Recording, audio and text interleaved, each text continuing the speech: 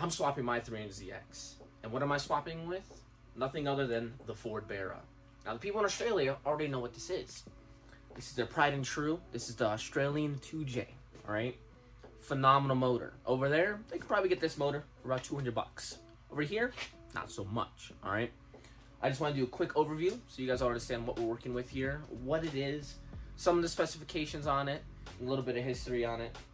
Um, it is now my favorite motor uh, since like two years ago, and it finally showed up. So let's dig into it. And here we have it.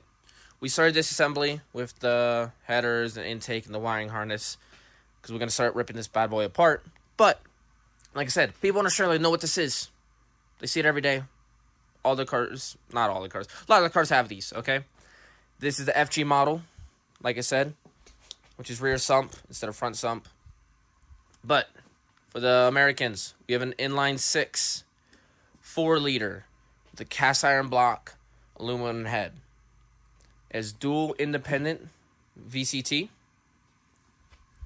and it's a big, big motor. From the front all the way, not to here, but to those, is 32 inches. The height, I forget, but as you can see, it's a really, really tall motor. But it's pride and true. This has around 198,000 kilometers on it and was an automatic. In my eyes, with the other cars I have, this is a super low mile, healthy motor. Bear of the World sells that suits rebuild. But if I wanted to, as soon as it came in with all the intake and headers and whatnot, if I just plugged it up, this thing would have started right on. For this to make any power, it's super, super easy and super, super simple. We'll start from the top and work our way to the bottom. For the top, we need to get heavier lifter springs. We can get different retainers. Um, we don't have to, but we can get titanium retainers. We may do that, we may not. We'll see. Then, going directly after that is ARP head studs. We do not want to lift the head. As soon as you start adding boosties, NA motors, they like to lift a little bit.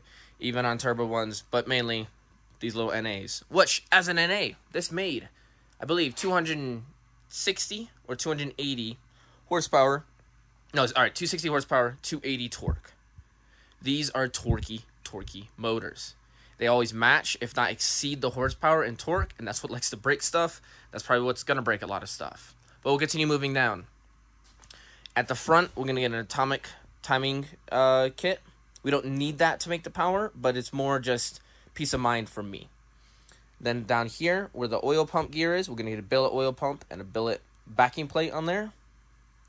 And that's it. It's really, really easy. Um, fortunately, right now the USD is still stronger than Australian dollars. So when I ring something up, it says like twelve hundred dollars, but then I'm only paying like eight fifty. So it's kind of nice. Uh, we do have to modify, besides cutting the oil pan to fit in the 300ZX. Um, they all have the same oil pans, just on the NAs for the turbo return line. We do just need to drill this out and thread a hole for that line. But besides that, this is a Barra. Australians 2J. It's in my garage in Colorado. I may be broke. I may have no time to work on this even when I want to. Mostly going to be late night videos for me. But I have a Barra in the garage at home and like I said before, through the years who have walked these streets. I'll show you what you wanna see if you come with me. Don't confuse it, this illusion is to bring you peace. I wanna see you back.